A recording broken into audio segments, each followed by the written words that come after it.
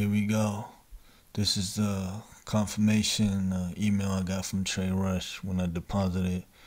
So I'm back, and um, this is a video how to withdraw from TradeRush. This is this is what they they sent me. So hopefully you can read it. It said. For withdrawing your profits, to withdraw your profits, we will need the following identification documents credit card copy front and back, utility bill copy, driver license or passport copy. This is a part of our compliance obligation with the international credit card companies. If for any reason you have problem with any of these information, please contact us through link. We will do our utmost to solve the issue immediately or email us at accountingtraderush.com. Ha ha ha. So yeah, this is legit. I I had to cover that up because it says "dear" my name, so I don't want you. You know what I'm saying? But yeah, how to withdraw. All right. Uh, let's see. All right, right here. For withdrawals to your credit card, please email. Send them email like, please, um, may I withdraw my money?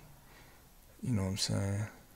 Okay this right here, the withdrawal request form is uh, for uh, banking uh, banks banking account. So from my understanding, I withdrew via Chase, which is in America. This will only help people that live in America. So what you will do is Mm.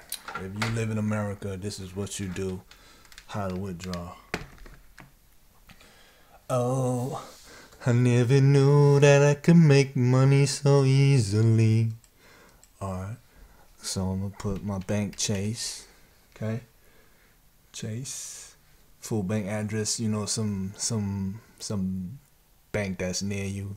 Just put the address. You know, you put your account number, blah blah blah blah blah, whatever it is routing Swift code. When I did it, Chase routing uh, Swift code was this, something like this. I don't really remember it really, but it's just an example. IBAN, IBAN should be since we're not international. Your IBAN is your routing number from your checking. Then uh, put the put the amount, blah blah blah, and you submit so that's how you withdraw via if you live in America. All right. Thank you for watching and um watch some of my other videos. I have a personality that, you know, you will hate or like. All right?